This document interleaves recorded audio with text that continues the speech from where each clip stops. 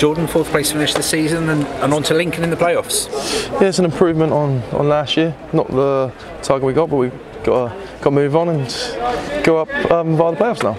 Yeah, you're looking forward to that test against Lincoln? Yeah, it's going to be a challenge, but I think any of the other three teams was, was a challenge. We'll look, we'll look forward to that on Monday and ready to go. Yeah, of course you played Lincoln only a couple of weeks ago, so it's fairly fresh in the memory, I'd imagine. Yes, obviously I didn't didn't go to that one because quite away. So um, yeah, the lads know know how they play. The manager knows and the coaching staff know. So I'm sure we'll get our tactics spot on. Yeah, and of course, you, as you say, you've been out for a few weeks. Nice to make your return today and, and get through an hour.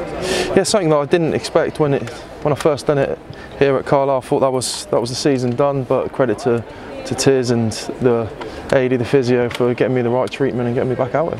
Yeah, nice hot sunny day. Couldn't have been better for you. It's just what I needed, really, wasn't it? How are you feeling though? yes, I feel good. Knee, no problem in the knee, and it's just about getting the mileage in the legs now. Yeah. In terms of the performance, a 1 0 win to finish the season, felt the team deserved it? It was always nice to finish to finish on a high going into the going into the playoffs. We need that little confidence boost. Know we can know we can win games and see them out and keep a clean sheet, which we haven't done in a while.